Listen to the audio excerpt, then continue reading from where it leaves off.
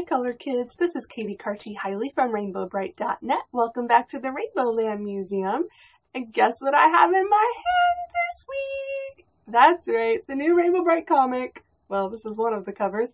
Um, finally came out October 3rd is when it started showing up in comic shops. So if you have not gotten your copy yet, you should totally get one. Um, I'm going to show you all of the covers that I've got so far. Um, what I did was I got two of each, not of those, um, two of each of these. I got three that were carded and boarded. That's not the right word. Boarded and bagged. Where did I get carded and boarded? Boarded and bagged. They have white boards. It's like a, a thin cardboard that keeps them nice and straight. You know, they won't get wrinkled and bent and stuff. That. Um, and then the plastic obviously keeps them protected from dust and so forth. And they're taped, you can see that. Anyway, they're taped on the back to keep that little flap down. Um, so I, I got that and the variant cover that's blank that one of these days I will get an artist to draw on. Um, but then I also got extras of the three, the non-blank ones. Um, cause the variants, the blank and the virgin covers, which I don't have yet, but I have on order, so they should be here, I think, soon. Um, the variants are more expensive because they're more rare, but all of these covers cost exactly the same. And like I've said in the other video, the interiors of all of these are exactly the same.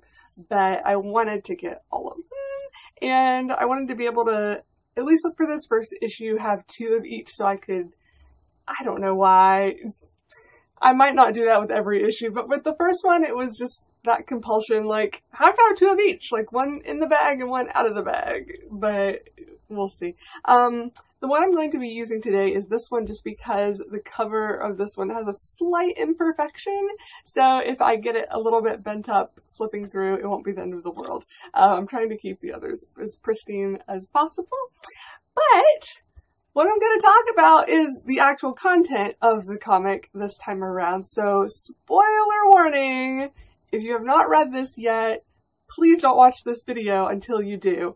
Um, I don't want to spoil this for you. I want you to have the experience of reading this for the first time. Um, I mean, I've given you a little bit of background in my other videos, but I want you to go into this with as fresh eyes as possible so you get maximum enjoyment and surprise and all of that goodness from it. Um, so just warning you now, but I'm, I'm still not going to be actually showing you full pages. Um, that's just out of respect for the creators because they need to make money on this. Um, that's how we're going to get more of these is if they, you know, sell. Um, as far as I know, they have six ordered for the first, I don't know what they call that, first volume, I guess. Um, I believe once all six are done, they're going to bind those into one volume. They'll obviously be thicker than one comic book is. It'll still be paperback, but that kind of um, trade volume can then be used in libraries and um, for anybody who wants one. But um, anyway, where was I going with that?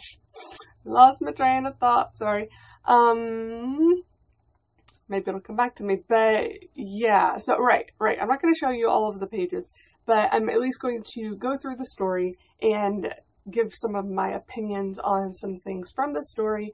And also I've pulled out a bunch of quotes from a bunch of different reviews about this comic. Um, there's like 27, I think now, reviews out there um, of people who have reviewed this comic, and it's from all types. Like some of them are diehard fans like myself, some of them are casual fans that remember the show a little from when they were kids. Some were not the right age, like they were in high school when it came out, so back in the 80s, so they were like they had a passing knowledge of it, but it was not something they would sit down and watch. And others had just zero um, knowledge of this property whatsoever. So it was really interesting to see from all kind of walks of fandom life uh, what people thought of this comic. And it was really like I don't know if this is always the case, but it was almost unanimously positive. And even the articles that had some like negative comments about it, at the end of the article, they would still recommend it. They would be like, okay, so I have this issue and that issue, but I would actually still recommend this for adults and kids alike because it's really well done. It's really thought out. It's great, etc., etc. Um, so, but I, I can't imagine that that's common, that a comic gets unanimously like, you know, four out of five stars at least, um, kind of ratings on so many different reviews. So I think that bodes well. I really do. Um, but fans like us need to support it if we want this to continue and if we want more things to potentially come from the Rainbow Brite property. So, here we go, issue number one. Um, I'm going to start, I think, just going through it myself, talking a little bit about the story, and then I'll go through my notes um, from the quotes I've taken from these articles and probably make some more comments about those as well. Um, first, I want to give all of the, uh, oops, gotta bend that, um, accolades, that's not the word, attention, whatever. I want to read off who worked on this, because you all need to know, um, if you don't already. Writer, Jeremy Whitley. Artist, Brittany Williams. Colorist, Valentina Pinto. Letterer, Taylor Esposito. Editor, Kevin Kettner. Cover A, which is this one, is Paulina, I think it's Ganusha? Ganesha? I'm I'm sorry if I'm saying your name wrong, Paulina. Uh, this cover is by Tony Fleecs, and then there is the classic cover, which is the Hallmark, you know, classic artwork. And there is special thanks to John Nens, Hannah Carey, Kevin Dilmore, Peter Martin, and Jack Pullen at Hallmark, and Alexis, sorry, Alexis Person. So that's all the people we have to thank for this existing, you know, and obviously Hallmark and Dynamite as well. So thank you to all of you for contributing to this. So we start out reading a story that's being written by Willow. So Willow and Wisp are the two friends that we meet uh, in the first half, I'd say, of this comic. And they're the best of friends. They are fantastic. I love them. I wish I could play with them and just like go back in time to their age and go play Knights and Wizards. Because, uh, oh my gosh, they have so much fun. And it's totally the kind of thing I would have been into when I was their age. So it starts out basically, Willow is drawing her own comic book. Like drawing and writing. I, will show you that page at least. Um, this is not part of the actual comic that we're reading. This is a comic that Willow is writing, kind of based on the stories that her and Wisp have come up with during their playtimes. Um, I want to pull out a couple of things that were just of note. So they are talking about the good people of a village called Lenoir. Um, I thought it was, but I had to look it up to be sure. That is the French word for black. Um, so I, th- I find it interesting that at the very beginning they're talking about a village that has a color associated with it. So in something called a Rainbow Brite, there's going to be lots of color, uh, both mentioned and shown on the page. So that was just a cool little nod for those of us who like to look up name etymologies. I get that from my Harry Potter time uh, on Alohomora. Anyway, then um, there's clearly a bully of sorts at their school that they kind of make fun of in this comic named Joey Gregory. Um, I'm curious if uh, Jeremy Whitley, the author, knows someone named Joey or Joey Gregory um, who's basing this on. Who knows? But it's funny. Um, and yeah, Willow says, you know, we'll save your town even though that jerk Joey picked on my hair. So it's, it's adorable. And we get to see them in their imagination, in their, the way they would imagine themselves, kind of their warrior aspects here. So Willow has her full outfit on with her cloak and her staff, and uh, Wisp has her full armor and sword and has rainbow streaks in her hair. Love it! So now let me just say real quick this is not necessarily what she's going to look like as Rainbow Brite. This is just what Wizard, what do they call her? Um, Warrior, no, Wizard Warrior, no, sorry. It's Wizard, there's so many W's. The Wonderful Wizard Willow and the Wild Warrior Wisp. Okay, so this is Wild Warrior Wisp look. We don't know if this is anything like what she's going to look like as Rainbow Brite. Might be, might not be. Um, but just wanted to mention that. So, but it's adorable. I love it. It's fantastic. So, this is the first page, and then we hear Wisp outside Willow's house yelling at Willow, like, Willow, hello!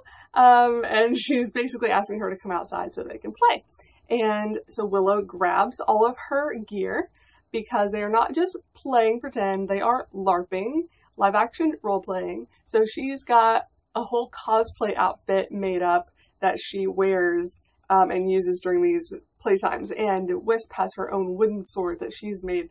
So it's so cool. I, I just love the fact that they're that big of a geek. I, I seriously, that's nerdy. That's geeky, and I am all for it. I'm not making fun of them at all. Like that's that's a compliment in my mind. If you're a, a geek or a nerd, um, that you're my you're my people. So these are my people. uh, yeah, and I love just the creativity they put into all of this. It's great. So we see Willow running through the house to go join Wisp, but her parents are, you know, telling her, don't run down the stairs. You can't play with a broken leg now, can you? And she has to ask her dad's permission to go out, and he says yes, that she can, um, but makes sure where she's going to be and make sure she's close by the house so that um, they will hear him if he calls for them. So very responsible, excellent parents that are making sure they know where their child is. Um, and I'll talk about some comments that have to do with this. Oh, I meant to bring up something else. I can get to it in a minute. Um, about the parenting we see in this, and that's just the first instance we see, but it, it's great. I love they are they're um, highly functional family. You know, they actually are paying attention to what their child is doing, and that these kids are playing outdoors. They're not just stuck on a computer in front of a TV, um, playing video games, whatnot. They're using their imaginations, which is something we had to do. Well, didn't have to. We, we did have TVs when I was a kid, but, and video games. Okay, but we didn't have computers the way we do now. We did not have the internet. So this is the kind of play we were more forced to do as a kid. Um, but we also enjoyed doing it. I'm not saying forced as in we hated it, but, um, we kind of resorted to this kind of play because we didn't have all the options that kids these days do. But I think a kid reading this might go, oh, right there's the outdoors. I could do this too. So maybe this will even inspire some kids to get off of their technological devices and get some fresh air. That would be great. We need more of that. So they go out in the woods and the lot beside Willow's house and start playing their game. Um, so they're just making up, you know, what's going on around them and talking to these you know, halt, foul creatures and we're going to destroy you and all this. So then Wisp is hungry. So they decide to go back to Willow's house to get something to eat, but they have to stay in character. Um, so Willow makes up another story to kind of, okay, what can we do to incorporate food into this quest? So they gotta go fight the, the centaur? Uh, no, Cyclops. Sorry, they have to go fight the Cyclops to get to his food. Um, and they come in the house, and the mom is like, "No muddy shoes," and they're like, "Mom, you have to stay in character." And so she's like, "Okay, the floor is cursed, and muddy shoes will get you thrown in the dungeon." So I love that the mom plays along with them and joins in. It's adorable. Um, Wisp eats her sandwich and half of Willow's because she's hungry, and apparently she always skips breakfast. Um, we'll get to something later on that may allude to she just not that she didn't have food for there wasn't food for breakfast but that maybe she it wasn't prepared for her so she just doesn't worry about it but some kids just don't eat breakfast so you don't need to read too much into that um, but it's a cute interaction because she asks and willow is like i always say yes of course you can take it but wisp is still like well I, I still needed to ask. It would be rude not to. So they're just they're so respectful to each other and it's so sweet. I love their friendship. It, it's really fantastic. And so they're playing again after they eat and the dad comes by and they're like dad! And then he joins in too. He's like oh sorry this giant troll just needs to get to his office. So they're playing and then it starts to rain and it's getting dark outside. So wisp needs to go home. And uh, willow's dad offers to drive her which he does, and it's it's really sweet. He lets them lets her borrow a rain jacket so she doesn't get soaked on the way home, and she like offers to give the jacket back once he drops her off, and he's like, "No, just hang on to it, it's fine." And so then we go into Wisp's house, and I love the what's on the television. Um, there's just these cats and hearts, um, and I'm, I'm a big cat lover, so I'm just like, yay, kitties! But she comes in and says, Hey mom, I'm home. Uh, but then she sees her mom is sleeping on the sofa in front of the TV. And there's a, a note she's left. Um, it's not like the mom has just conked out and not considered her, her daughter that's going to be coming home. Says, Hey, honey, dinner is in the microwave. Wake me up and tell me how your day was. Love, mom. Um, but Wisp decides to just get the dinner and eat it and not disturb her mom because um, she says, You look way too tired to wake up. We'll talk tomorrow. Um, she kind of whispers that, I think, to her and says, Night, mom. So Wisp puts her dishes away, starts getting ready for bed, and then she hears this bang outside. Um, she tries to look out the window to see what it is, but she can't see anything. She can only see shadows. And she goes outside to realize that there are like shadow monsters. Uh, in my previous review, I was talking about there was something that reminded me of Star Stealer, and this is what I was talking about. And it's not, they don't look exactly like this at all, but remember when they get to the Dark Princess's castle, this is Rainbow and Chris arrive there, and there are those shadow monsters that they start out small, and then they all like group together and make this huge one. Um, cause these guys, it's like in some scenes they are more joined together than others, but I think that they, I think the first one they don't look joined, but then they kind of become joined. Um, but this is this is what the shadow monsters look like. So that's just it kind of reminded me of of Star Stealer, which I thought was cool. So they have drained Wisp's mother's car of color. It was blue and now it is gray. And they see that Wisp is wearing a blue sweatshirt, so they try to start stealing the blue from her shirt. Um, and she's just like, what are you guys doing? And so she like goes and starts fighting them. She's like telling them to leave the car alone and starts like hitting them with her sword. And they're saying like, wait, you shouldn't even be able to see us, much less hit us. So they're like, what? But at the same time, they want the blue from her shirt because apparently they're stealing all of the blue from the, from the world. Um, so she's like, uh, no, leave me alone and starts running away um, because they clearly can't be defeated by just her and her wooden sword. Um, and then something very Harry Potterish happens, and this is basically when the shadow monster is trying to absorb the blue off of her shirt. I think I can show you this. Uh, I'll show you panels from time to time. Right here. What does that remind you of? That is totally like a Dementor trying to suck the soul out of somebody. So I don't know if that's what they were going for, but that's what it reminded me of, and I love it so much. Anything that reminds me of, of Potter, I'm just like, yes. So yeah, um, she she figures out that she is able to strike them, but she's not going to be able to just defeat them. So she is like, okay, I gotta get out of here, get some help. So she starts running. Um, she thinks they she lost them, and then no, they're behind her. And again, the bottom of them, it's like they don't have feet because they're shadows. Um, the bottom is like it's like a three-headed monster type thing. They're all joined together in in the later scenes. So then Twinkle, Twink, um, but in this one, Twinkle shows up. You've seen him already, but there he is. So okay, Twink apparently can just levitate or fly or whatever you want to say in this mythos, which is interesting. That was one of the modes of transportation I was talking about in my last video. So that's something brand new. He's never been able to do that in previous incarnations, but it works really well to keep him at eye level with her. Um, otherwise, she would just be looking down a lot, and that might, I don't know. I think that would be weird if they had to keep switching back and forth, um, like showing her face and then showing his face and her face and his face. So I think it makes sense actually for him to just be right here and they can just have a conversation and look at each other. Um, so he starts introducing himself because at first he's like, ah, what is, what are you? Um, He's like, don't be scared. Oh yeah, you've never seen a sprite before. I'm a sprite. My name is Twinkle. And uh, so they have this funny interaction where she tells him her name, and then he kind of starts explaining what's happening. That these are, oh, let's see, the king, talking about the Shadow King, has recently captured the Guardian of Blue. They are attempting to drain all existing blue from the world. Um, to which Wisp says, so should I just take off my shirt?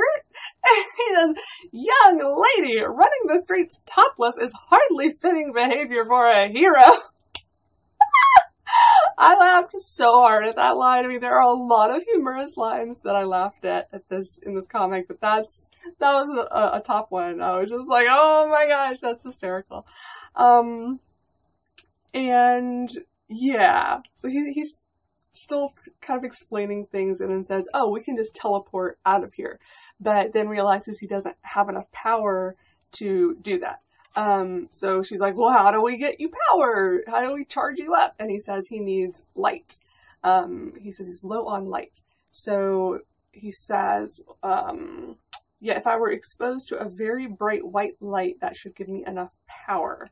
And so they uh, start running toward Willow's house because Wisp real remembers that they have an alarm system that she accidentally tripped once before trying to get into Willow's window. And when it goes off, really bright floodlights come on. And Twink is like, what if, what does flooding have to do with any of this? So there's, you know, it's just characters from two different worlds interacting, um, talking about verbiage that doesn't make sense to either one, and they have to kind of explain, um, which is a cute dynamic. So it's like, it, it establishes that um, Twinkle is definitely not from Earth and does not visit it often, that he doesn't know what some of these things mean or what they are. So finally, through many attempts, they get Willow's attention, and they're they're still having trouble setting off the alarm system. And uh, Willow, who's also wearing a cat shirt, just want to point out more cats, yay! Um, takes matters into her own hands, uh, which is awesome. I mean, both of these girls are super brave and, well, just, we'll just talk about brave at, at the moment because they're both being very brave. Like, Wisp just jumped right into this battle and then very quickly figured out what she needed to do to get away from them, um, to vanquish them for the moment or whatever, and, and did it. And then she wakes up Willow, and Willow's immediately like, okay, what can I do? What can I do to help? And she figures it out really quick. Um, she looks around uh, her room, she picks up her staff, and she breaks the window to set off the alarm, which is kind of, that's ballsy. Like, most kids would be so scared to break a window because they would think their parents would ground them for a month or their life, you know. Um, but she has the confidence that she could explain this to her parents and they would believe her and trust that she did it for a good reason. So I like all of that as well. That's kind of implied. Um, so she breaks the window, the lights come on. Twinkle immediately absorbs the light he needs to recharge himself, and as Wisp is falling off of the tree that she had been climbing, trying to get Willow's attention, um, he transports them to Rainbow Land. So when Willow and her parents get out the front door, Wisp is gone, and the shadow monsters. It's all they're they're just like, what, what happened? Where did they go? Um, but Willow did see the shadow monsters when she looked out the window and saw Wisp struggling, so she knows that something really bad was happening, and uh, so she knows like it's not just a case of a missing person. They're not just going to be like, oh yeah, she was stolen by some bad guy and taken away. Um, and again, we'll we'll see in future episodes if her family does believe her, as I, I think they will. But again, it's it's a a hard pill to swallow. It's like your kid plays knights and wizards all the time, but to say that something fantastical like a shadow monster is real and that's why her friend is now missing, that's gonna take yeah some explanation and some some trust on their part. So that'll be interesting to see how that goes. And Wisp leaves her wooden sword behind. Um, it's just on the ground at Willow's feet. And I'm not going to show you this panel because you need, or this page, because you need to buy this comic to see this. But the last page, they arrive in Rainbow Land. Um, oh, what's the question that he's asked? Oh, on the previous page says, Twinkle, where are we? And says, good question, Wisp. Welcome to Rainbow Land. And that's where they are, but I'm not going to show it to you. But suffice it to say, it does not look, at least currently, it does not look like the Rainbow Land we're used to. Um, and I'm really excited to see where it goes from here. Like, if, it just, if you turn the page and it looked like regular old Rainbow Land with all the bright colors and everything, then you would be like, what, what's the, you know, why, why are we worried? Why, where's the King of Shadows? Where are his minions?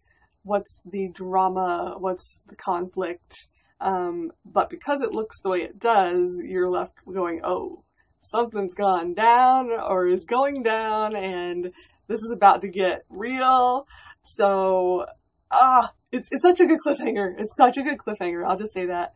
Um, And then there's a preview for the next issue. It's got a, a picture of issue number two, the cover, and it says Wisp and Twinkle run into trouble in a magical land when they find themselves face to face with mad scientist Murky and his sidekick Lurky. But as they try to make their way to safety, they discover an important part of what it means to be Rainbow Brite. So maybe we'll see her as Rainbow Brite in the next issue. I don't know. Like I said, we don't see her as Rainbow Brite here, just as Wisp. Um, but I love that Murky and Lurky are going to be introduced and that they're still here.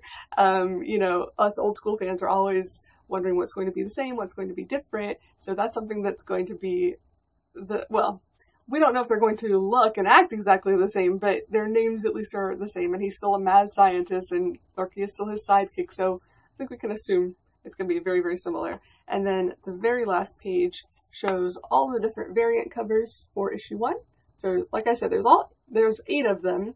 Uh, this one down here was the latest that just came out at New York City Comic Con. It was an exclusive for that convention.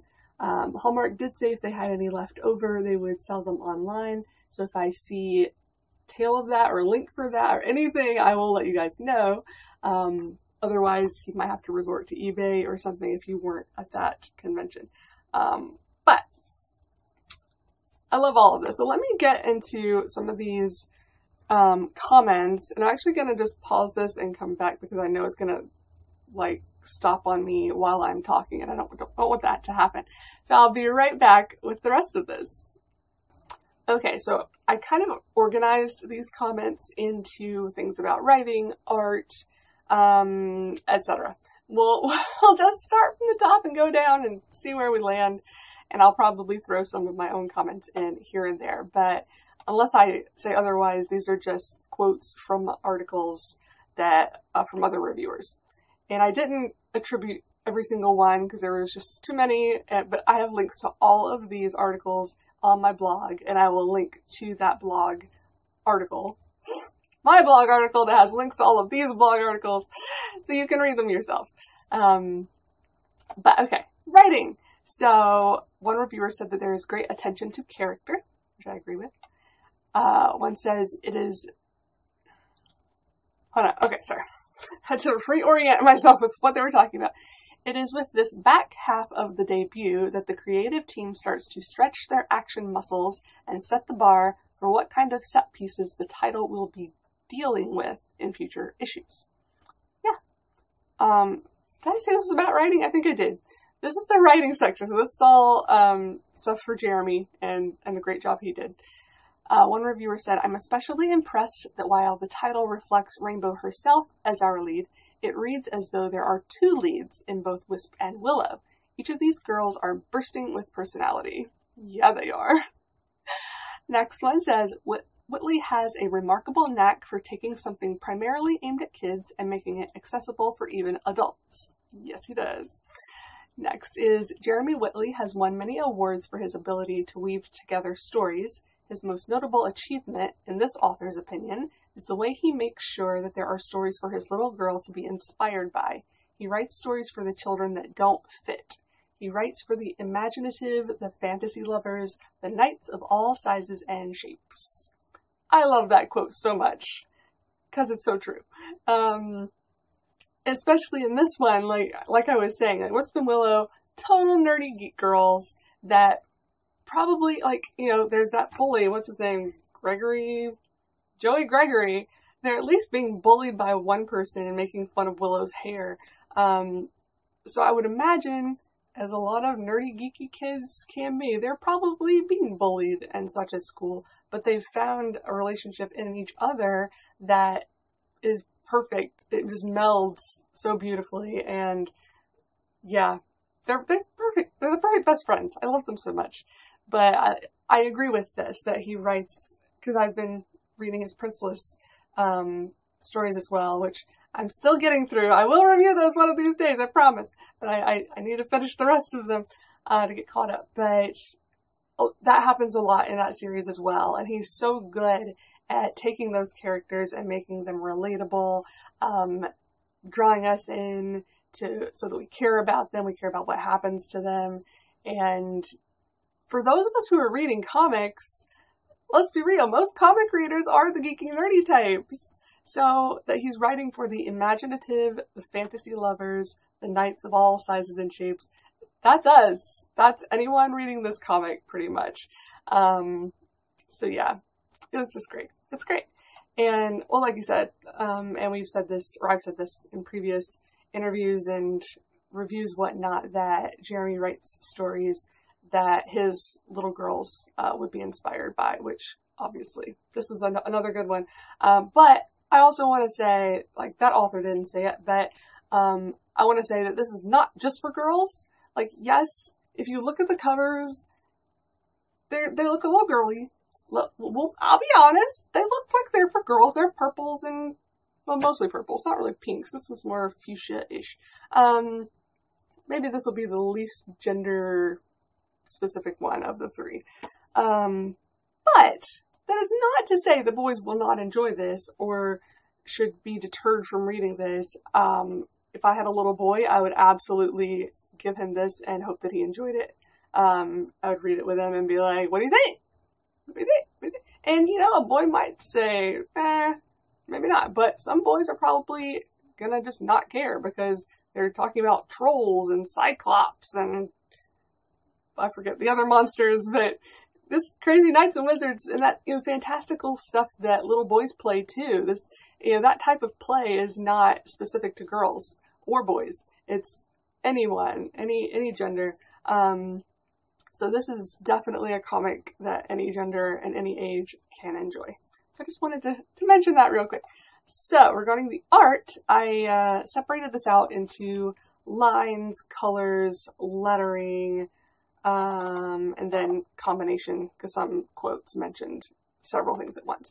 So as far as the line art, um, so this is, I don't want to get it wrong, Brittany Williams. Here we go. Uh, one person said it was cartoonish but emotive. Another said traditional looking cartoon character designs. Another said, this is regarding Brittany and Valentina who did the colors. Uh, the pair's style looks like a cross between the anim- anime-inspired action of Steven Universe and the more comedic works of Kim Reaper's Sarah Graley. So I, I threw a few comparison quotes in there because I am not the person to ask, like, art-wise, what other comics does this look like? Because I don't know. I don't read any other comics.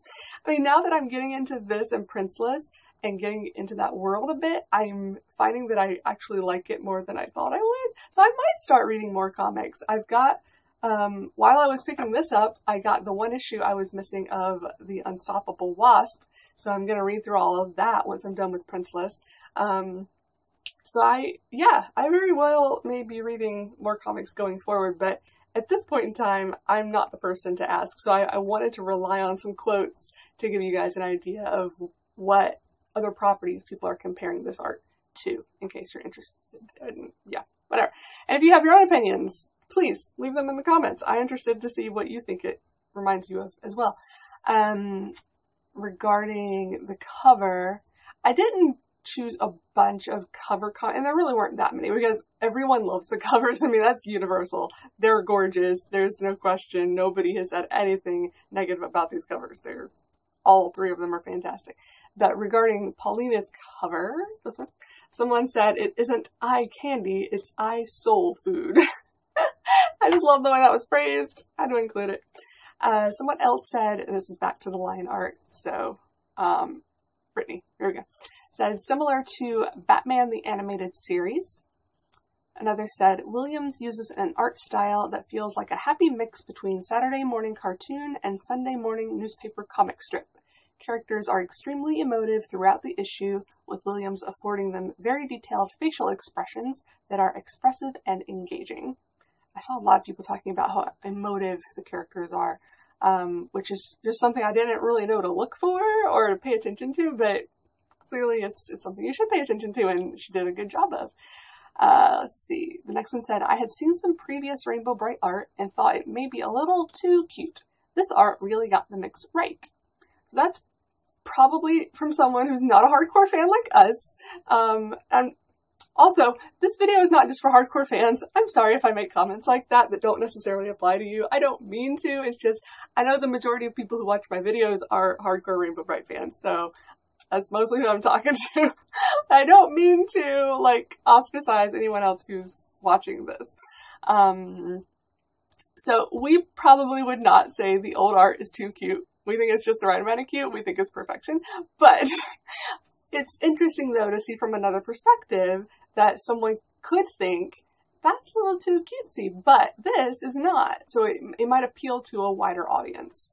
And, you know, like I was saying before, with it not being a gender specific thing, even though right now our two main characters are female, there are going to be other characters introduced, and Twink is a male. Um, so, and Murky Lurky are male, you know, there's going to be other characters that come into play. So, yeah.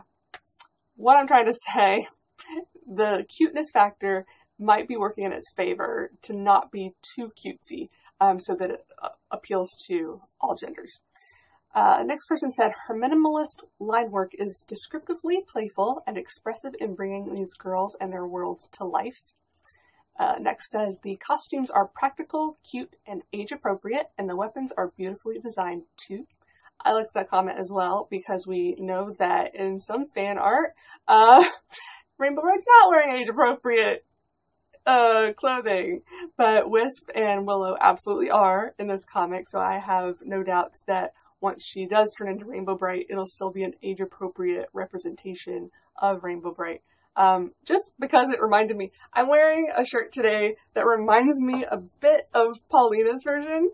Um, this cover, it's not the same, but because I, I got this a few years back, I think. Um, but it just reminded me because it's slightly aged up and the armbands are, are similar. By the way, Paulina, I haven't mentioned this yet. Um, the fact that the stripes on her arms are in rainbow order, that is a huge deal to me and I love it so much. Please keep doing that.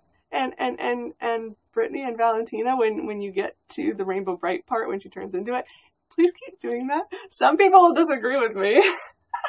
there are plenty of Rainbow Brite fans that are like, no, it has to be the old color scheme like this. You can't vary it.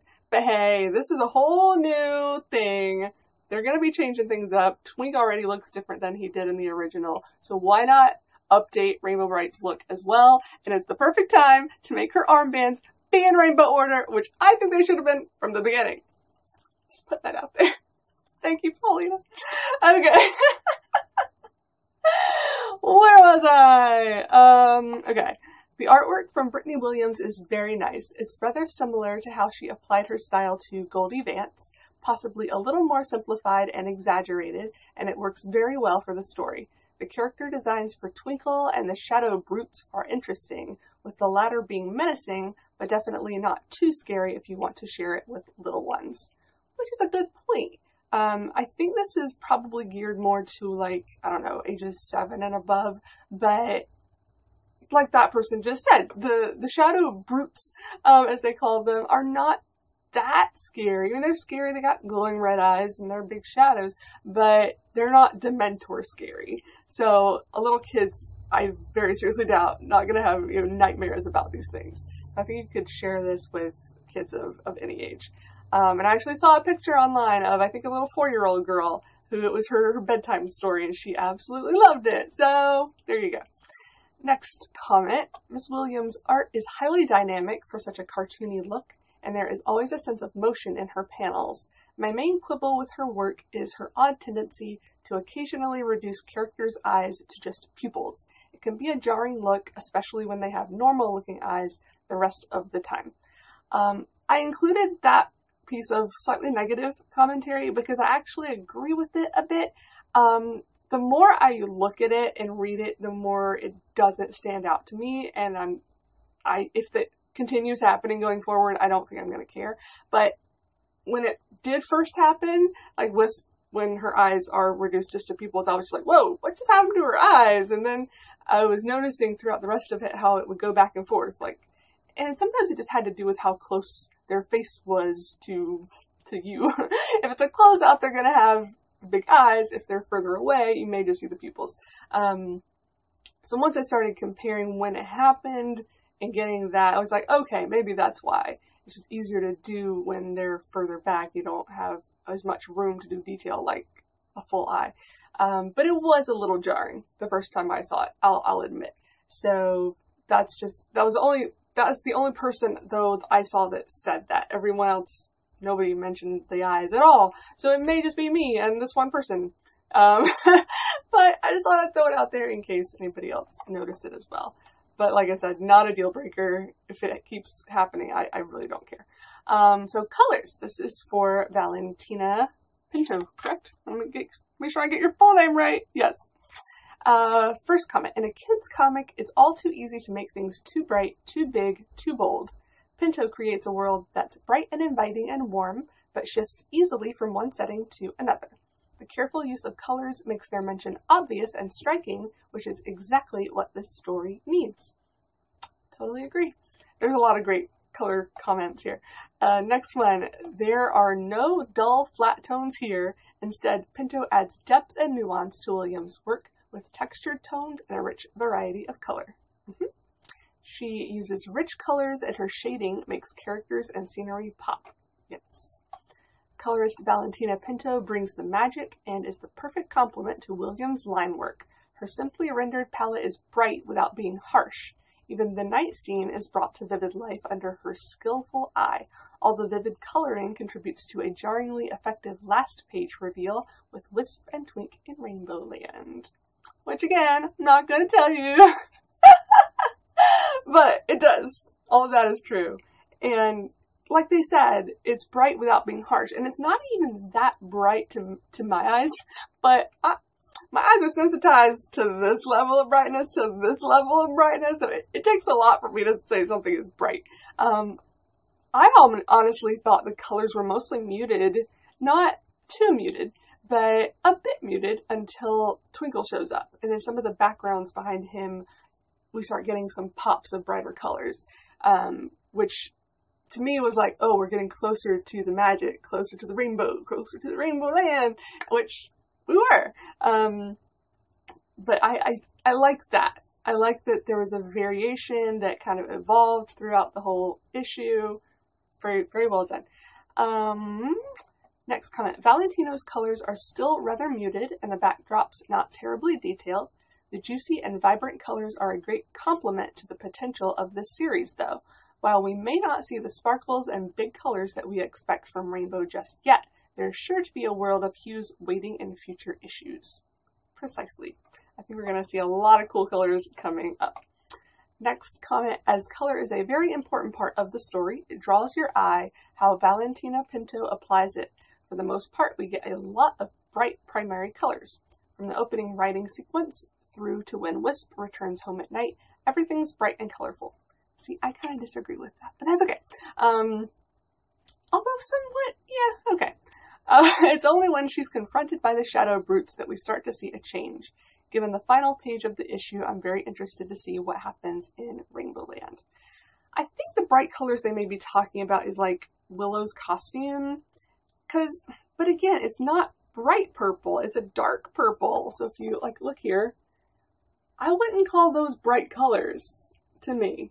That's darker colors. They're still vivid. I mean, it's not like you can't tell the difference of what she's wearing from the color of the floor. I mean, obviously you can see the difference of the colors, but it's something dark purple. It's not bright shy violet, you know?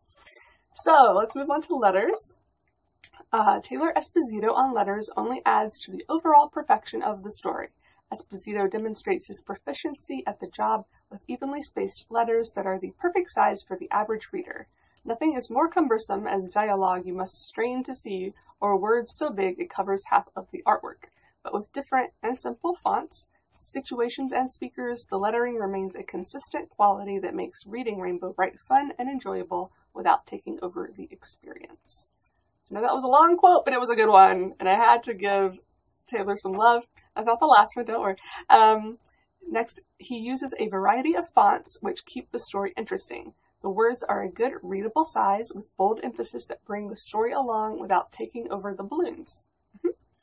This is a wordier comic considering its targeted age range, but it still retains a reasonable reading level. The comic is never overwhelmed with word bubbles, and there are moments of pure fun thanks to Esposito's lettering. I would agree. And last comment for that, for the opening page, we get to see Willow writing her own fiction, allowing Taylor Esposito to use a mixed case font. Williams to present the layout in a fashion representing it a book. Did I read that right? Present the layout in a fashion representing it a book. Representing a book? Whatever. And Whitley to give us a direct impression of Willow's imagination. The stylistic difference is quite nice, and I'd like to see more of it in future issues. So yeah, that first page that's different from the rest, which in my last video I was talking about reminded me of Princeless. That. I would like to see more of that too. It's fun. It's fun to see Willow's stories that she draws and writes. Um, okay, comments about both Brittany and Valentina, right? Yeah.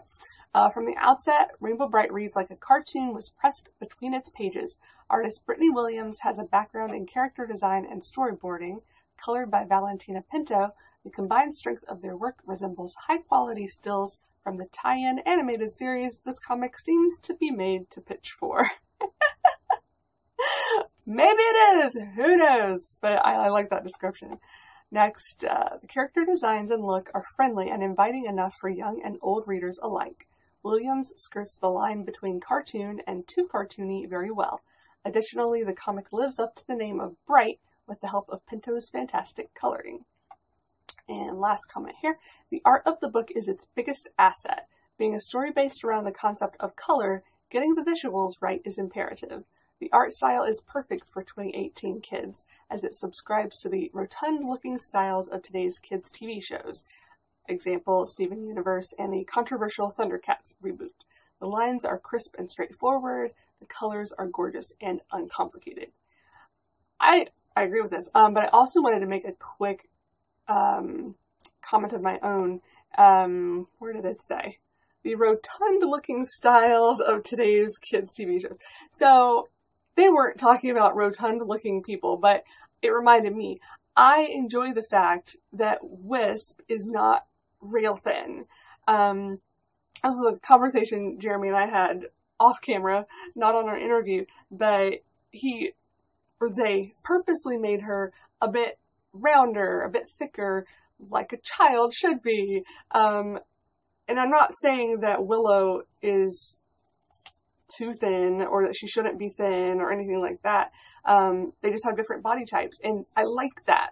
I like that they don't look exactly the same in that sense. Um, and I like that Wisp is just a little bit shorter, a little bit rounder, younger. I mean, they're probably the same age, but you know what I mean. And there are some scenes where Wisp just looks so young, like when she's sitting on the couch while her mom is sleeping, when she's eating her dinner. Where is it? There it is. Like, she looks so young and tiny in that image, and it's just adorable. Um, yeah. So I like the fact that they're keeping her young. She might not be quite as young as the this particular cover would suggest. She looks a little older than this, but not much. Really not much at all. So I'm really pleased that they kept her a young a young heroine as she's always been and I think she always should be. Okay. Uh, how long am I? Okay, so I got some time. Uh, these comments are regarding all of the people um, dealing with the art and lettering. Uh, in Goldie Vance, I loved the way Brittany Williams kept bodies, especially girl bodies. Oh, see, this is going to talk about what I was just talking about. Um, start that over. In Goldie Vance, I loved the way that Brittany Williams kept bodies, especially girl bodies, softly rounded in ways that made them feel appropriate, appropriately young and real. In Rainbow Brite, that's even more apparent. Willow and Wisp are young and they have little girl bodies. Their expressions are big and clear without ever being caricatures. The backgrounds are created with easy flourishes that give just enough detail, keeping it from overwhelming the target audience. The panels are readable for almost any age group, with little in the way of complicated layouts. This comic is made for little girls, and little girls can read this. Very well put. I love it. Uh, while we have yet to see the full range of color, the art by Brittany Williams is absolutely gorgeous. Her cartoony style is a perfect fit for this franchise, and her seemingly simple illustrations are complex and full of emotion. If you've seen her work in books like Goldie Vance or Patsy Walker Hellcat, you may know what to expect, but Williams is churning out career defining work in this issue alone. That's wow. Um, the colors by Valentina Pinto accentuate Williams' art and really make every panel pop. Color will be an important element in this series going forward, and the artistic team is only getting started. The lettering by Taylor Esposito matches the tone and the humor of the dialogue perfectly. Everything in this book is just plain beautiful. Agreed. And last one about the art. The illustrations are bright and eye-catching. The writing is witty and fun, but not so much that it would go over the heads of younger readers. The lettering is well placed and non-intrusive, which again for younger readers and readers like me with dys- dyslexia makes all the difference. So, see, that's a viewpoint I would not have thought of on my own because I'm not dyslexic myself, but I love hearing from someone who is, and for them, this is easy to read. And that, that's amazing and speaks very well to being easy for children to be able to read as well. That's great. I uh, got some comments here about pacing. This debut takes its time getting to the magical girl fun of the IP. Yep. This issue really works hard to establish our cast first and then get to the fun second. The story begins slower than most young reader comics, so if you're expecting to dive right into the action of rainbows and unicorns, hold your horses for a sec. I love that comment. Although this is only the first issue and the tone of the story doesn't rush through too fast, the pace is really nicely done. I quite like the easy way that Jeremy Whitley guides us into the story. For much of the issue, this is just a couple of friends playing. It gives us a good grounded look into the characters and establishes a love for fantasy fiction and imagination. It makes the transition into the actual fantasy elements of Rainbow Land, Twinkle, and the minions of the Shadow King more interesting when they occur. Totally agree. These are great comments. And last one there, uh, what I love the most about this first issue is that it takes its time, letting us get to know Wisp through Willow and Willow through Wisp. They are both sweet, fun, and oh my gosh, adorable. Yes. all of that's very, I agree with all of it. Um, like I said, again, in my last review, my, my spoiler free one, that it is slower paced than a cartoon episode would be and that's what they're ta- that's what they're saying here that it takes its time getting to the drama um, establishing the world establishing the characters so we get to know about them and care about them before we're whisked off into adventure. So i really like the way this is set up and it really just makes us crave the second issue that much more. It's great.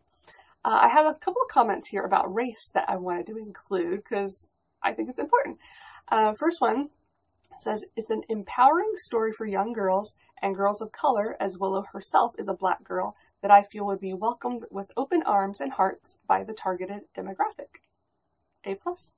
And second comment, when the origin story of Rainbow Brite leads with a black girl breaking from her fantasy comic to put her homemade mage hat over her natural hair and argue about live action role play with her friend, the moment is remarkable in how normal it is. She's not a sidekick, but a precocious nerd raised by supportive, wryly humorous parents. Not much more to say other than that. I think they covered it, but I, I just agree. I love that we have a character of color that is very important right off the bat.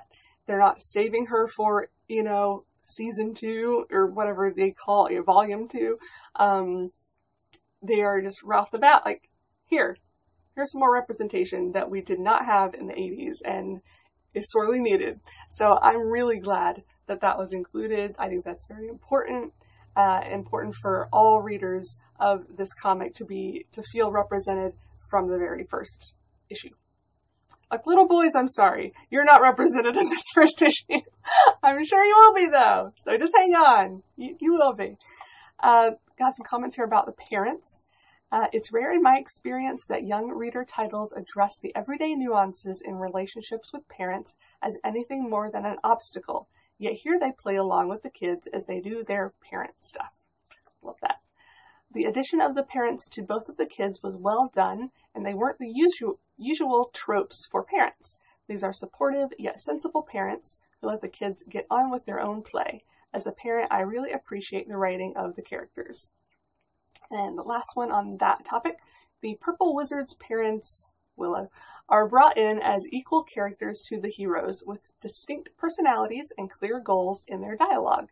The girls speak respectfully to them, eat at the table properly, say please and thank you, and get along as a household very well, which is an odd thing to take away from this issue, but I enjoy seeing a seemingly healthy family unit portrayed in a comic. Then we have the spunky blonde warrior, who does not share the same family dynamic, which we learn in a poignant scene toward the end of the issue. Her mother obviously loves her fiercely and takes care of her, but she is simply too tired to function at her best, which is another painfully real situation that a lot of families find themselves in. Um, yes, all of that. And I'm not going to read it. I will link to it though, because you should read it. Jeremy actually took to Twitter to address some, not complaints is the word, but some people were disturbed maybe by Wisp's house um, and the comparison to Willow's. It's almost like they were thinking, oh, she's being neglected. Oh, poor Wisp doesn't have any love or any. Obviously, her mom loves her a lot, which is probably why she's worn out, is because she's worked herself to death. Um, we don't know if there's a father in the picture. You know, she describes the car as her mom's car. Um, so it might be a single parent situation. Hopefully, we'll find out in a future issue. But basically, he said in his tweets that both um, portrayals of households are normal and not not one is not bad or uh, how do I say this? Um, one does not churn out all good kids and one does not churn out all bad kids. Like he identifies more with Wisp's upbringing himself and he turned out well. So there. Uh, for people who are making assumptions based on home life, I think Wisp is just fine. Um, but it is great that she has Willow as a friend and that her family has brought her in as a second daughter, basically, and treats her just the same. That's awesome. And I'm going to pause this again because it's probably going to cut me off and I have a few more things to talk about and then I'll be done, I promise. One more time. I apologize. I did not mean for this to be this long. Maybe I chose a few too many quotes, but there were so many good ones, it was hard to narrow down. So, regarding canon, there are a few quotes here. The first issue also stays fairly faithful to the original Rainbow Brite stories, and the presence of the King of Shadows minions serves the issue and series well in establishing what's at stake. Mm-hmm. Second, uh, because a fictional character can be used in many different mediums, and each of those mediums can be different among themselves, so a story in a storybook, comic book, or video game probably won't be mentioned in the TV show of the same fictional character. As a fictional character grows over the years, these stories can change. These changes do not make the previous stories invalid or wrong, but grow and enrich its world. Very succinctly put, that was actually from Renee over on rainbowbrite.co, um, which I just, the very succinct, good way of putting it that this is not changing previous stories, this is just adding to it and giving us more info and just more. More everything. Next comment. If I know anything about what fans value most in the reboot of a creative property, however, it's how well each new adaptation preserves its original source material. After reading issue one of Dynamite's new Rainbow Brite comic, I'd suggest those picking up this comic on brand recognition alone might need to adjust their expectations accordingly. Regardless, every story has the potential to be someone's first experience of a particular genre, and this would be a solid introduction to the world of Rainbow Brite. I think I said as much in my last review video, which was adjust your expectations. You're not going to open it up and see the 80s cartoon, but that's okay. And I love how they put that. Um, where did it go? Every story has the potential to be someone's first experience of a particular genre. So, some kids, this is going to be their first glimpse into Rainbow Land at the character of Rainbow Brite, of Wisp, of Willow, of all of this.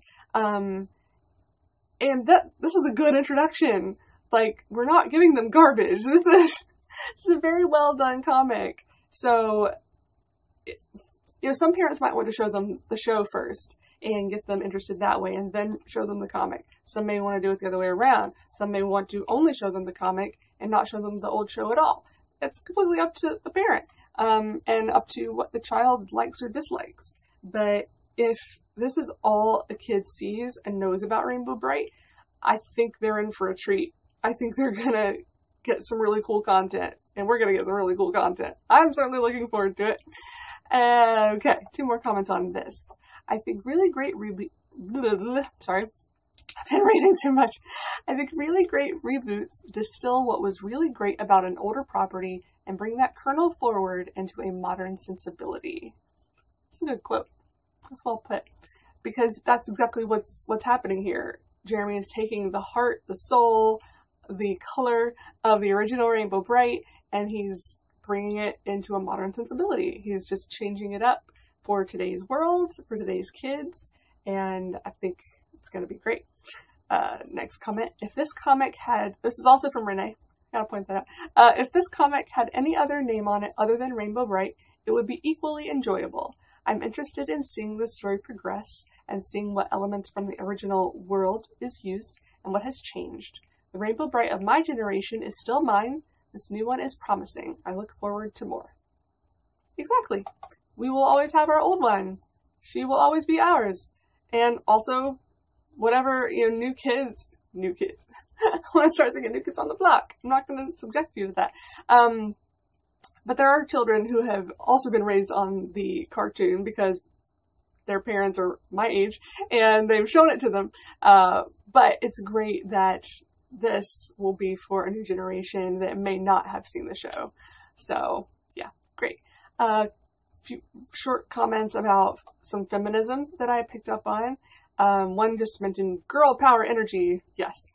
Um, another was, I was immediately struck by the clear and solid friendship between these two girls. So much girl oriented media engages with mean girl stories, the type that feed the worst examples of preteen girl infighting. This is especially awful when media is targeted at girls who are most likely to be vulnerable to that sort of social interaction. Yes. we need more stories like this with girls who actually get along, uh, are not bullying each other, are not making fun of each other, are not just talking about hair and makeup and boys. Um, this is a perfect example. What's that? I don't think I put that quote in here. There was something about it passing the Bechdel test. I'm probably mispronouncing that. If you know what that is, it passes it with flying colors. Um, but it's basically what I just said. And yeah, it's that's so important. We need more more media like this, so yay. And the last one, friendship, particularly female friendship, is a very important aspect to this comic. And I would agree. Um, and I'm sure going forward, like I said before, we're going to see uh, characters of other genders. So I'm very interested to see the girl boy interactions that I'm sure will not all be romantic, as in some properties. So I'm, I'm really interested to see uh, what's gonna be coming later on. Yay. And then some miscellaneous comments that didn't fit into any of those categories, but I still thought were, were important. Uh, we know so much about Wisp before she gets to Rainbow Land, which allows for what I think may be the ultimate female escapist fantasy. Not becoming some sort of superhero in our world, but being whisked away from the real world to a place where people see that we are special. There are plenty of stories that start with a female heroine in a fantasy world, and she kicks, gets to kick butt there, but the daydream of being plain us in our world and then a magical heroine in another world, that's something else altogether. For me, a kid who used to look for the way to get to Ponyland every time I saw a rainbow, it's something incredibly, well, magical. Yes, yes, yes, yes. I think I made a comment similar to this when I was talking to Jeremy about this, reminding me of Harry Potter, where it's normal you, but you could be a witch or wizard, and you could get your Hogwarts letter, and you could be whisked away to this other world that you're a part of and you have superpowers. So that's very much in the same vein uh, in this comic, and I love that dynamic so much, so much. Next comment with bright and cheery personalities, Willow and Wisp are very much every little girl's who's dreamt of grand adventures and epic battles with her friends, a demographic underrepresented in comics. There you go. It's, yeah. I think I just said that, but I'll say it again. We need more comics like this. need more. But hey, we, we got this one. We're making progress. Yay. Thank you, Dynamite, and everyone else involved in this. Uh, where was I? Here we go. Regarding Wisp and Willow, uh, while they are not like everyone else, they are perfect for each other. They embrace their differences and complement each other's personalities. I love that. like I said, they're they're kind of the nerdy, geeky, possible outcasts. We don't know how they are at school if they have other friends or if they are ostracized, so they found each other. But whatever the case, they complement each, each other perfectly. Uh, next comment. This is very clearly targeted at a younger audience, but it's got kind of a Calvin and Hobbes or Adventure Time feel to it, like it has room to expand. It feels like this comic is likely to mature over time and I'm excited to see some of the content and topics that will be addressed moving forward. Absolutely. The next comment Wisp compliments her on. Oh, compliments Willow. I should have taken out the her because you're like, who are you talking about? I'll just say Willow. Wisp compliments Willow on a cape and well made. Wait, I'm sorry. I read that wrong. Wisp compliments Willow on a cape well made and expresses her desire to make armor and a sword. Her grandfather once worked in a furniture store with machines. How hard could it be? Oh, to be young again. Now I'm going to take issue for one second with this comment. Um, yes, to the first things you said. I love that Willow is into learning how to sew and make her own costumes and being crafty. Um, but I also love that Wisp, I did say that right, Willow? Willow with the sewing? Yeah, Wisp sometimes I say one or the other and I'm like, did I just say the right one? Okay, yeah. But I don't think Wisp saying she wants to learn how to forge metal is just a, oh, to be young again kind of dream. No. That is the sign of a maker. Being married to one, I know the signs. And that is the sign of a maker girl. I mean, both of them are, just in different ways. Making costumes is one way to be a maker. Making weapons and armor is another way to be a maker. Making programs is another. There's so many ways to be a maker. Um, but that is what she wants to do. She wants to learn how to forge metal. And she could, like, don't say, oh, to be young again, as if a kid can't learn to do that. Like, they would obviously need supervision at that young of an age working with things that hot and heavy, etc. It would be difficult for them, but they could absolutely learn by watching, and they would probably be, someone like this would be fascinated to watch someone do welding or any kind of metal work. Um, so I didn't I didn't read that part and just think, "Oh, what a silly idea. This little girl wants to make armor." No. I read it and was immediately like, "Yes! Yes, yes, yes. We need more girls that want to learn how to do things like this and things that are not specifically girly." Um, I thought that was fantastic. I love that she made her, at least it looked like she made her own wooden sword. Um, so she's already on her way. She's already learning how to like shape wood and cobble it together to look like a sword. Um, so I I love that about Wisp. I love um, her curio- her curiosity, her desire to learn new skills, and screw you know society's expectations of little girls. She can forge metal if she wants to. You hear me? Yeah. I hope she gets to do that in Rainbow Land. Next comment. While this first issue is a bit of a slow burn, there's plenty to enjoy. Whitley puts a tremendous amount of heart in this soft reboot of the beloved 80s franchise. The cliffhanger ending does point, does point an arrow in the direction of the series and definitely makes me want to read what happens next. Our heroines are creative, innocent, and fun, which is the perfect description for this series so far, and exactly the type of book we need more of in these dark, in these often dark, colorless times. Yes! So many people agreeing with me. We need more comics like this. Next comment. The first half of the issue is mainly about laying the groundwork and world building. Willow and Wisp spend most of this time playing in their fantasy world together. The intensity that they play with is both amusing and endearing. Traditionally, in this style of story, we get a view of what the girls see when they are playing, but not this time around. We see them as we would see our own kids running around the lawn yelling about foul beasts trying to destroy them. It helps us transition to when monsters really are trying to get them later in the book.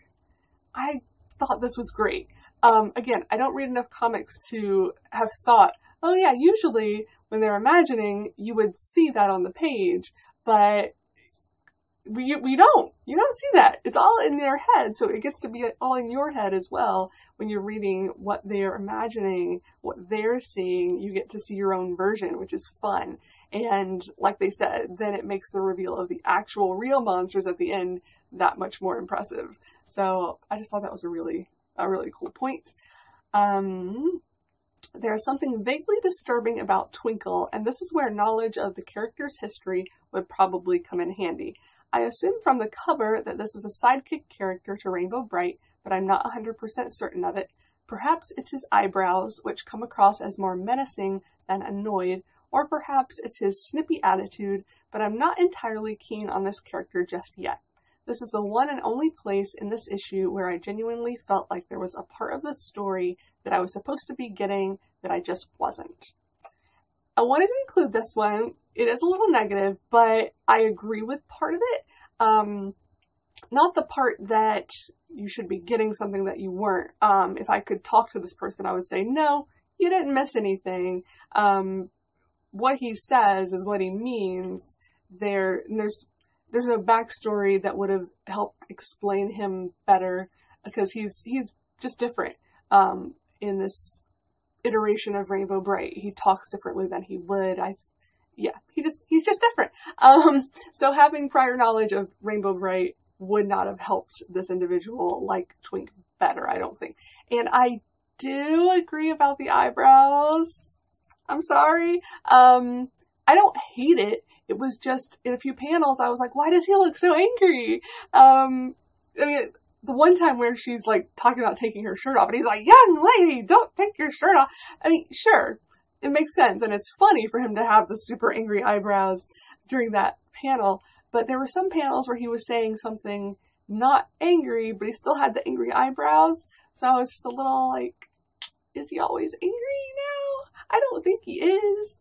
Um, but that's just if if I have any complaints about the art, it's the two that I mentioned. It's the eyes, sometimes turning to pupils, and Twinkle's eyebrows. But the pupils I've already gotten over. I don't really think that would bother me. The eyebrows might.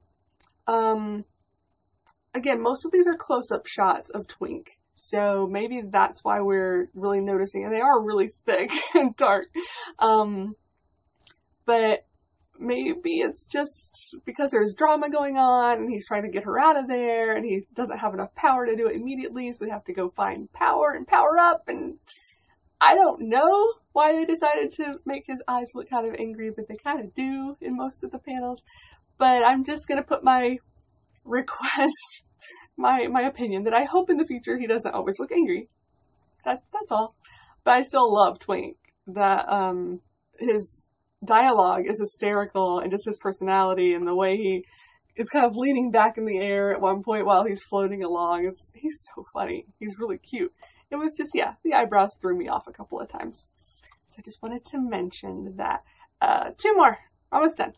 Further, for books aimed at younger audiences, there is the additional risk of being too preachy or heavy handed. This book never really falls into that.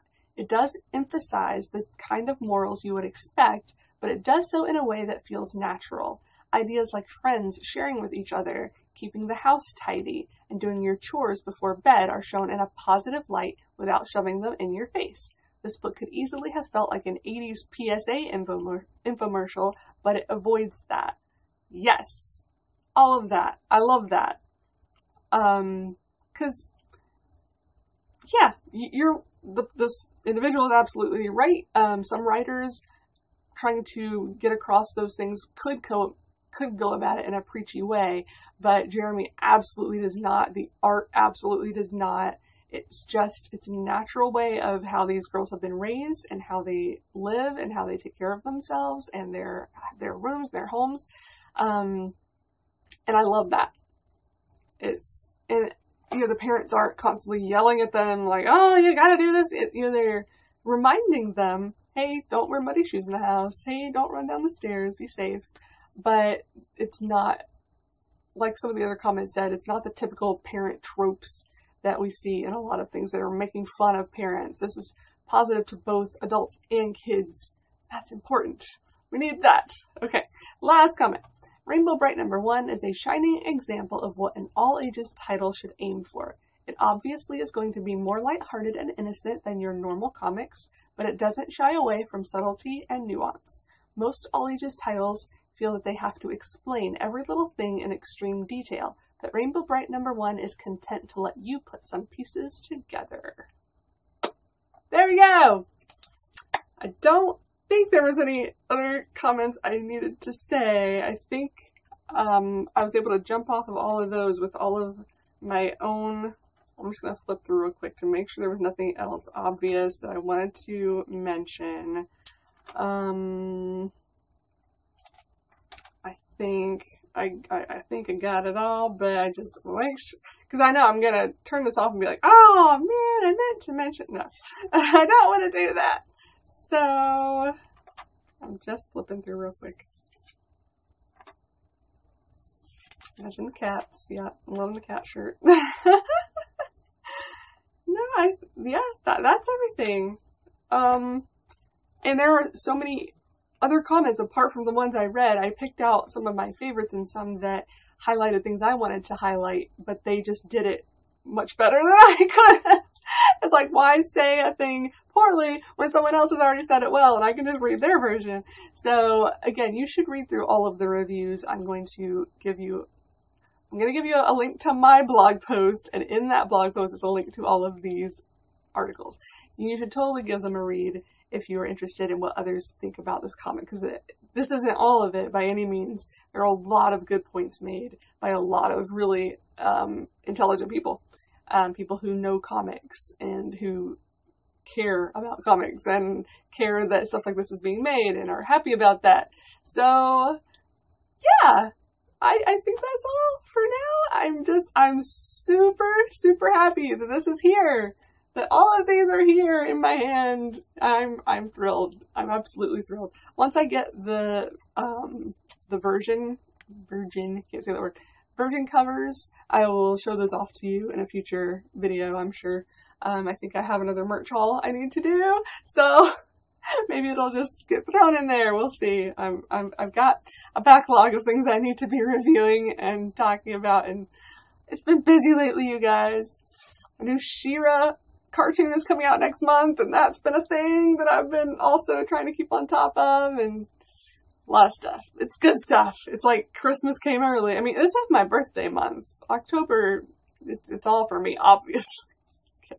Um, happy early birthday to me! I'm getting all this wonderfulness at the beginning of the month, and there's still a lot more of the month to go. But there we go. I think that's all for the moment. I'm probably gonna remember something else I meant to say. Oh, I did at least. I have my calendar open? I think it was on Dynamite's website. I saw when the next issue is supposed to come out, and it is November 14th. That's when it is currently slated to be released. If I hear anything different, I'll let you know. But for right now, put it on your calendars. November 14th is when issue two is going to be released. Um, so you may want to go ahead and pre-order that one with your local comic shop, like hopefully some of you did with this one, like I did. Because I, I literally walked into the shop and I was just like, hey, I'm here to pick up my thing. Here's my box number. And boom, there they were. Easy peasy which is good because the guy was kind of distracted. I, I don't know what was going on. He, I think he was working on a couple different things at once. So he was like, he gave me those things, and I was like, okay. And I was like, oh wait, I also want, I need this other thing. So he ran and he got me that, and I paid for that, and I literally like, went out of my car, and I was like, oh man, I meant to get copies because I the ones he handed me were just these, the, the three loose ones and the the um, blank one. And then I was like, oh wait, I wanted to get other ones. Um, so I went back in. I was like, I'm so sorry. I'm three transactions later. I'm finally finished. Um, and I did take a picture of the shelves that had the Rainbow Brite comic in it because I was just so like, ah, she's there, like mixed in with all of these other really famous comics that people are going to be coming in to buy, and then they'll see Rainbow Brite and go, oh, there's Rainbow Brite comic out, and then they'll buy it, and then they're going to be just as excited about it as I am, and hopefully get more of it, and then it'll hopefully keep going forever and ever and ever. Not just the six issues that I think are currently slated, whatever the word for that is. Um, I want this to keep going for a long time long time because I, I really think good things are, are coming. Um, I think it's going to be really fun. Anyway, sorry. I I really am going to go now. I, but I did want to mention my little comic store experience. It was it was brief, but it was it was still fun just to see it there on the shelves and to have it in my hand, bring it home, and do this video for all of you a few days later because I've been busy. Anyway, I hope you're all doing great Please tell me what you think of the comic in the comments. I want to hear all of your opinions and your opinions on anything I said or comments that I read. Um, I'm always happy to discuss this more after the video is over. So, until next time, have a rainbow day. Bye.